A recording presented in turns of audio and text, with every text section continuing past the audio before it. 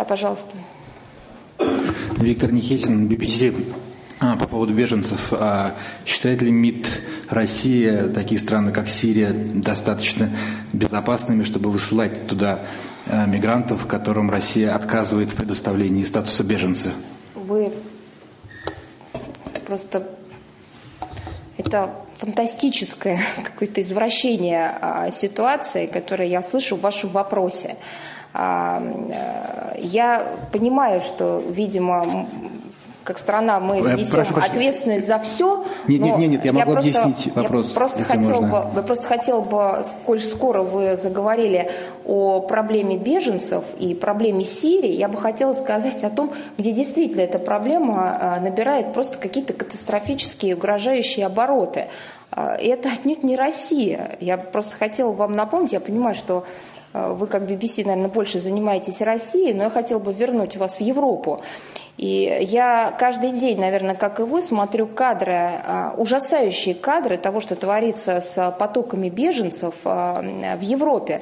Сегодня я видела, как уже те люди, которые приехали туда, как уже начинают э, рожать детей на улицах, вы представляете, в каких условиях, да, когда штурмом берутся поезда, вообще все это напоминает, конечно, ситуацию после Второй мировой войны, вот так вот примерно. Конечно, масштабы еще не совсем те, но по динамике, по тенденции это очень похоже. И, честно говоря, вот э, с удивлением и с очень большой обеспокоенностью мы э, наблюдаем вот эту проявившуюся откровенную беспомощность а, э, Евросоюза а, в связи с наплывом беженцев из стран Ближнего Востока и Северной Африки. И это, это по-моему, это очевидно всем, что э, вот этот небывалый кризис с беженцами является прямым следствием абсолютно безответственной и непродуманной политики смены политических режимов в регионе. Я, вы знаете, даже себе выписала. А, не все разделяют эти оценки, многие до сих пор считают, что а, и называют, кстати говоря, а, этих людей не беженцами, а мигрантами – что тоже очень э, интересно.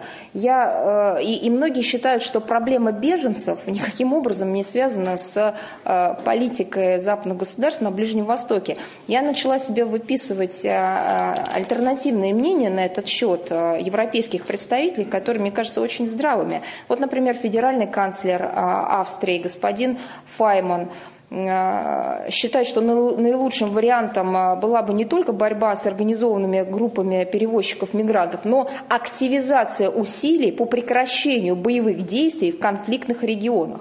Ну, то есть то, что мы говорили на протяжении многих лет, начинает, наконец, э, так сказать, проявляться в заявлениях европейских политиков. Вот, например, оценки Ватикана. Госсекретарь Ватикана господин Паралин, он сказал, что нынешняя трагедия, охарактеризовал то, что творится в Европе именно как трагедия, имеет глобальный характер, и что в силу продолжающихся военных действий в Сирии проблема сирийских беженцев характеризуется особой остротой. Вот, например, наши болгарские коллеги, да, министр иностранных дел Болгарии господин Митов а, призвал бороться не только с последствиями, но и с коренными причинами этого явления. В первую очередь с деятельностью ИГИЛ. Он выр... ну, как бы, да, историю создания ИГИЛа я здесь напоминать не буду, вы, наверное, без меня знаете. Он выразил опасение, что все меры предприняты предпринятые до сих пор, не создали условий для ослабления э, террористической группировки. Напротив, исламское государство э, продолжает расширять контролируемую им территорию, выстраивать на ней э, свою квазигосударственную архитектуру и так далее, и так далее.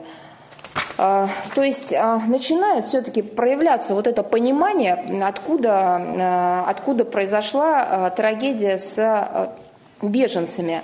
И э, я вот хочу, просто отвечая на ваш, на ваш вопрос, э, сказать, что люди, которые бегут в Европу, они боятся оставаться в своих странах, которые охвачены вооруженным противостоянием и борьбой с терроризмом.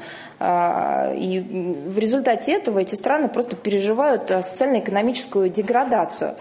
А, в этой связи у нас вызывает обеспокоенность а, поспешное использование, кстати говоря, раскрутка, не просто использование, а раскрутка некоторыми членами Европейского Союза применительно к этим людям термина «незаконные мигранты». В соответствии с Конвенцией Организации Объединенных Наций о статусе беженцев, она была принята в 1951 году, и в соответствии с протоколом, касающимся статуса беженцев от 1967 года, ситуация в ближневосточном и североафриканском регионе дает основания квалифицировать этих лиц именно как беженцев – Таким образом, у государств-членов Европейского Союза а, возникают международные обязательства в отношении этих людей.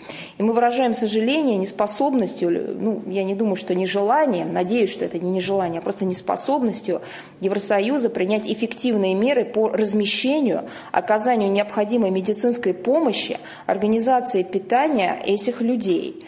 Эти люди оказались в Европе не по собственной воле. Их государства разрушены или на грани разрушения, коллапса. И мы рассчитываем, что страны Евросоюза в соответствии со своими международными обязательствами не допустят продолжения нарушения прав беженцев и должным образом обратятся к искоренению причин нынешнего кризиса. А, что касается вашего вопроса, меня тоже, знаете, задело а, относительно того, что там Россия как-то не так что-то там делает.